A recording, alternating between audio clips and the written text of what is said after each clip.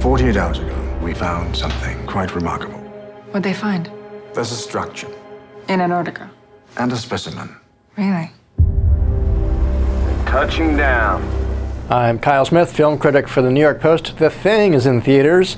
Uh, this is a remake and a prequel. It's actually a prequel to the 1982 remake uh, that was directed by John Carpenter. Really seen now as a classic, although it flopped at the time. And that itself was a remake of the uh, the 50s movie The Thing from Another World. A team of Norwegian scientists headed by uh, the actor Ulrich Thomsen.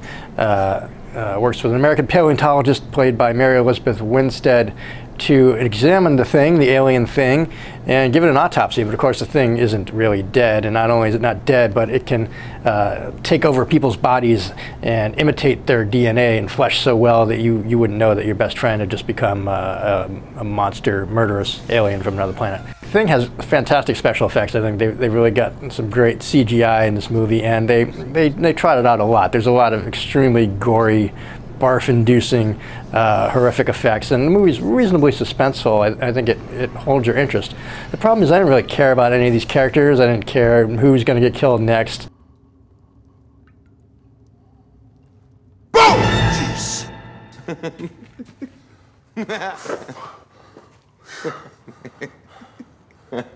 Screw you,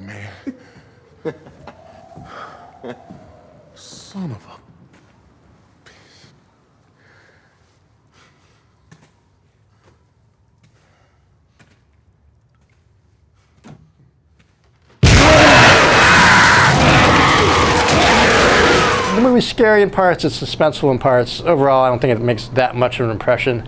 Um, it doesn't have a whole lot of star power. I think clearly the, the Kurt Russell 1982 version far superior, much more suspenseful and a lot more uh, psychologically engaging. So I'm giving this version of the thing two stars out of four. I'm Kyle Smith, film critic for the New York Post. We don't know if we can trust them. Find out. Let's trust him. It's obviously outside. It's obviously not.